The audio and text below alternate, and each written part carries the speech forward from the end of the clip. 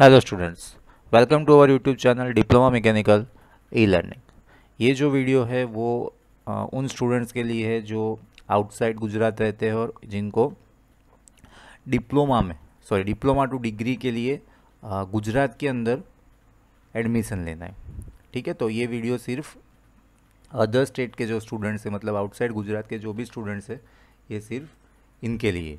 Okay so so, बहुत सारे students हैं जो दिल्ली से है या तो फिर महाराष्ट्र से बिहार से मध्य प्रदेश से बहुत सारे ऐसे स्टूडेंट्स हैं जिन्होंने एसीपीसी में डी टू डी के लिए फॉर्म फिलअप किया था। तो तो उनके लिए बहुत सारे मैसेजेस आ रहे थे उनके प्रोसेस के बारे में। सो so, ये जो वीडियो है उन्हीं के लिए है। तो सबसे पहले तो ये देख लेते हैं कि उनका आ, कितने परसेंटेज ठीक है जो सीट होती है जो गुजरात स्टेट गुजरात की जो कॉलेजेस है उसमें उनके लिए एक कोटा आता है। That is A I Q all India quota okay so वो जो पार्ट है उसके अंदर आपके लिए फाइव परसेंट जो सीट होती है वो अलोकेट होती है ओके okay? वो आपके लिए रिज़र्व रखी जाती है। तो यहाँ पे लिखा हुआ है ये ए सी पी सी की ऑफिशियल uh, नोटिफिकेशन है जो आई थी सात छः दो हज़ार बाईस को।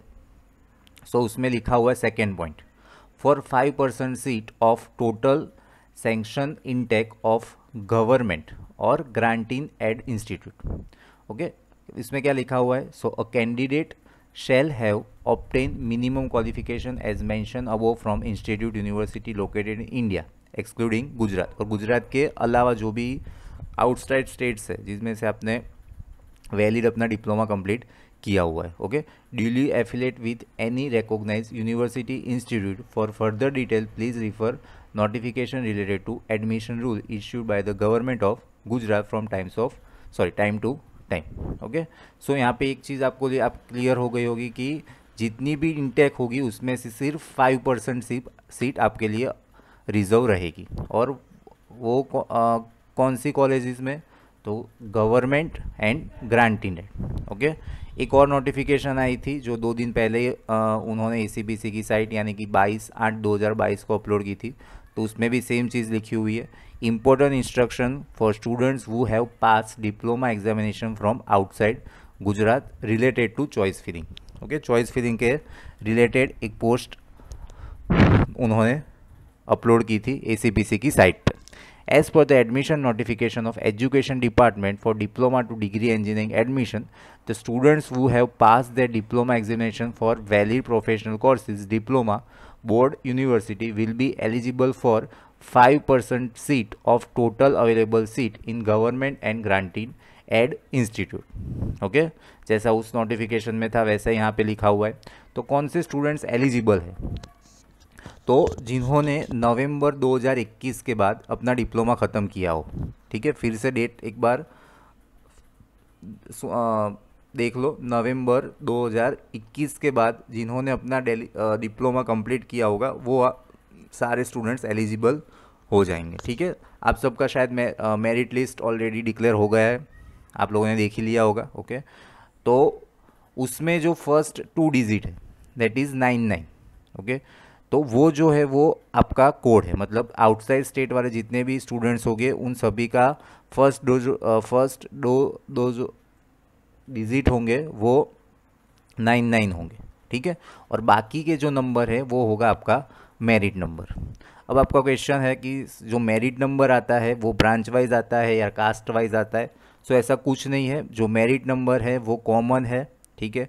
गुजरात के बाहर जितने भी स्टूडेंट्स ने रजिस्ट्रेशन करवाया होगा, ठीक है, उनका एक कॉमन मेरिट बनता है।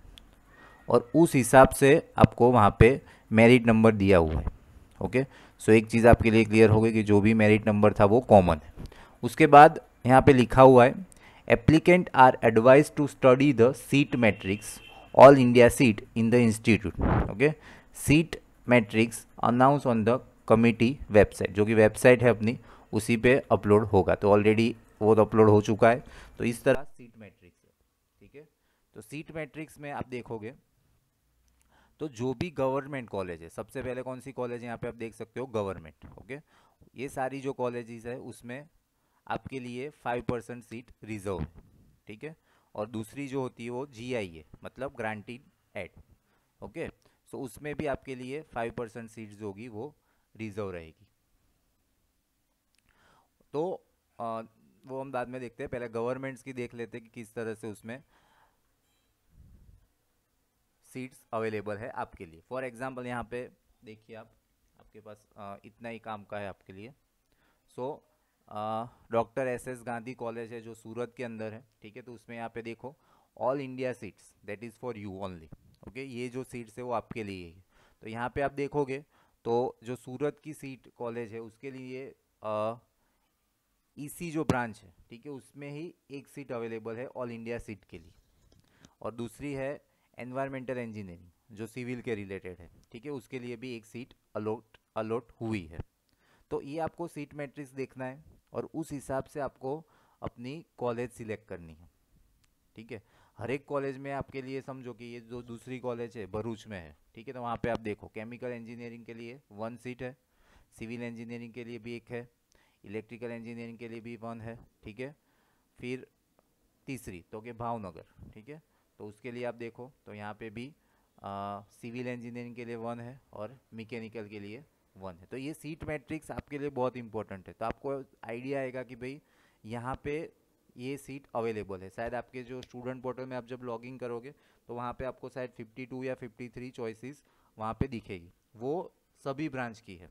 ठीक है उसमें आपको पर्टिकुलर जाना है कि भाई मुझे मैकेनिकल ही करना है। तो आप पहले देख लो कि कौन कौन सी कॉलेज में ऑल इंडिया सीट्स मैकेनिकल के लिए अवेलेबल है। उसकी एक प्रायोरिटी लिस्ट बना दो और उस हिसाब से आप क्या करो चॉइस फिलिंग करो।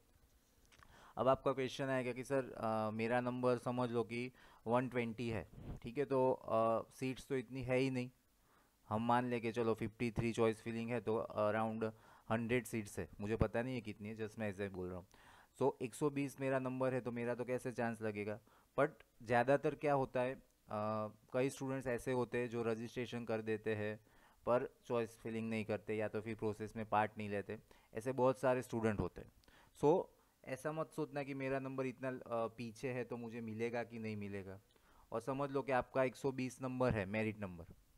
पर आगे सब जो मैंने पहले ही बोला कि जो मेरिट नंबर है वो कॉमन है। तो ऐसे ज़रूरी नहीं है कि आगे जितने भी आपके आगे जितने भी स्टूडेंट्स हैं वो आप ही के ब्रांच के हो। ठीक है? हो भी सकते और नहीं भी हो सकते। सो so, उस हिसाब से भी आप थोड़ा सोचना तो आपको चॉइस फिलिंग मैक्सिमम करनी है। ठीक है? ऐसा नहीं कि एक दो कॉलेज डाल दी और हो जाएगा। ठीक है? चॉइस फिलिंग आप ऐसे करो कि एक सीक्वेंस में रखो कि भाई मुझे पहले इस कॉलेज में जाना है बाद में इस कॉलेज में बाद में इस कॉलेज में। और उसकी एक उसके हिसाब से आप चॉइस फिलिंग करो। ठीक है? ब्रांच आप चेंज कर सकते हो। ठीक है? वो तो आपको पता ही होगा। तो मैकेनिकल वाले हो, या तो फिर कंप्यूटर आईटी तो अपने हिसाब से आपकी ब्रांच में कौन कौन सी कॉलेज आपको पसंद है, उस हिसाब से आप सीक्वेंस बना दो तो ये सारी गवर्नमेंट्स कॉलेज है। आप यहाँ पे देख सकते हो। तो हर एक गवर्नमेंट कॉलेज में आपके लिए ऑल इंडिया सीट्स होगी। ठीक है? फिर आती है ग्रांटी नेट इंस्टीट्यूट ठीक है? तो ग्रांटीन इंस्टीट्यूट तो ये भी है तो यहाँ पे आप देख सकते हो जो थर्ड कॉलम है ऑल इंडिया सीट ठीक है तो उसमें आप देखो बीवीएम जो है बिल्ला विश्व विश्व विश्वकर्मा महाविद्यालय ठीक है तो उसके अंदर है फिर एम बड़ोड़ा में है ठीक है फिर डीडीयू नडियाद और फिर आ, फिर आ जाता है पीपीई इंस्टीट्यूट ठीक है तो यहाँ पे आप देखो पीपीई इंस्टीट्यूट यहाँ से स्टार्ट होगी तो उसके अंदर आपको यहाँ से अब कोई भी जगह पे आपको ऑल इंडिया सीट की एक भी सीट नहीं दिखेगी। ठीक है? हर एक जगह पे क्या मेंशन होगा? ज़ीरो ठीक है? तो अगर आपको ऐसा नहीं, ऐसा है कि भाई मुझे गुजरात में जाके ही पढ़ना है, चाहे मुझे गवर्नमेंट में मिले या ना मिले, ठीक है? ये जो एसीपीसी का एडमिशन होता है ऑल इंडिया सीट्स के लिए, वो सिर्फ़ गवर्नमेंट के लिए होता है। मतलब जो गवर्नमेंट कॉलेजेस है, उसके लिए होता है, ठीक है? जो सेल्फ फाइनेंस कॉलेजेस है जो या तो फिर पीपी मोड है जैसे कि मैंने बात की गई हम बात करें कि निर्मा यूनिवर्सिटी या तो फिर पीडीपी यूनिवर्सिटी ठीक है? तो उसके लिए आपको क्या करना पड़ता आ, क्या करना होता है? तो आप डायरेक्ट उसी कॉलेज को कांटेक्ट करना होता है उस उन केस में कि समझो आपको एक्स वाई जेड कॉलेज में एडमिशन लेना है।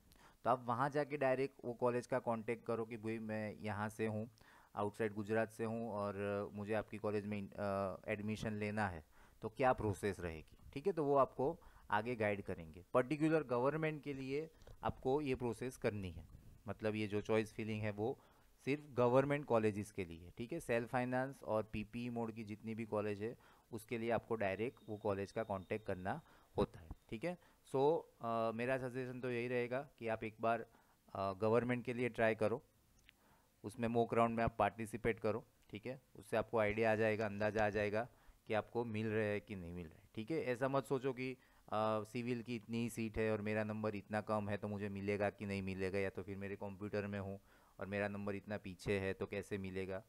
अभी जस्ट मोक राउंड है। मोक राउंड का मतलब होता है प्रैक्टिस राउंड ठीक है? इसमें आपको आ, कहीं मिल भी जाए तो वो फिक्स नहीं होता है। मोक राउंड का मतलब होता है प्रैक्टिस राउंड ठीक है? तो आप मोक राउंड में पार्टिसिपेट करो। मैक्सिमम जो आपके हिसाब से जितनी भी कॉलेज आपको पसंद है जित जो भी ब्रांच पसंद है उस हिसाब से आप चॉइस फिलिंग करो ठीक है? और वे मोक राउंड का वेट करो ठीक है? उसके बाद आ, जो पीडीएफ है मोक राउंड का एनालिसिस रखेंगे ये साइट पे साइट पे। तो उसमें देखना कि कहाँ पे लास्ट कौन सा मेरिट पे कट ऑफ़ हुआ है क्या हुआ है। तो उससे आपको और अंदाज़ा आएगा। सो वेट करो बेटर है गवर्नमेंट के लिए ट्राई करो अच्छा है गवर्नमेंट में मिल जाए तो ठीक है? सो आई होप अब आपके जो भी डाउट्स होंगे वो सब क्लियर हो गए होंगे। स्टिल अभी कोई भी डाउट हो तो आप हमारा कॉन्टेक्ट कर सकते हो। कमेंट भी कर सकते हो या तो फिर हमने हमारा जो नंबर है वो आ, दिया हुआ है। सो so, उस पर आप व्हाट्सएप मैसेज करना तो हम ज़रूर आपको गाइड करेंगे।